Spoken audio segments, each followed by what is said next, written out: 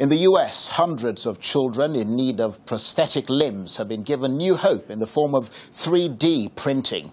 Due to the high cost of frequently making new fake limbs for growing kids, many were left with ill fitting prosthetics or none at all.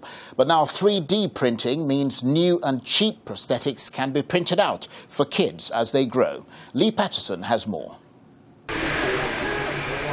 From jewelry to knickknacks and even to guns, 3D printing seems unlimited in what it can produce. So it's closer to a robotic etch a sketch hooked up to a giant glue gun. Like one of the newest items, body parts.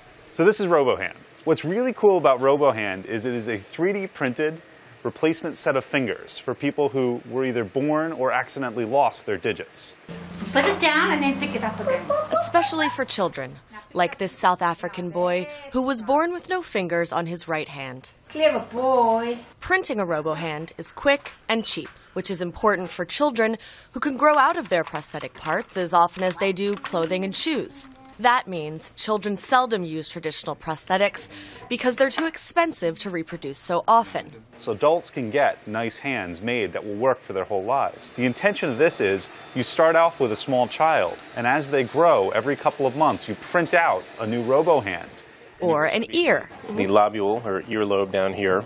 Doctors examined this printed part made from collagen gel used as the printer's ink. So this ear is a beautiful 3D recapitulation of a patient's ear. Once printed from a series of digital photos, the collagen replica grows into cartilage. Just three months later, this becomes a workable, lifelike outer ear. And now, if you bend it, it won't break. It's stretchy. It's elastic. It's an ear. But for now, this field is limited, partially by size, because blood vessels, for example, are too small to be printed. It's a pretty, you know, impressive thing to be to see an object created where there was nothing.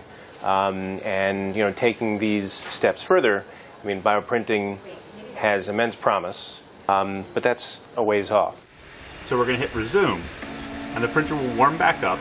I like to say with 3D printing, you're limited only by your imagination. You're only limited by what you want to build. And by cost.